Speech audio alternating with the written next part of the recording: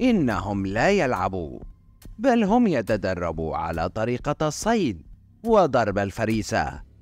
يضرب المثل بالأسود فهم ملوك الغابة يعني العزة القوة وتهابهم أغلب الحيوانات لكن حياتهم مظلمة. تضع اللبوة أشبالها فيقتلوا جميعا إلا إذا صارت المعجزة. يبقى شبلا واحد.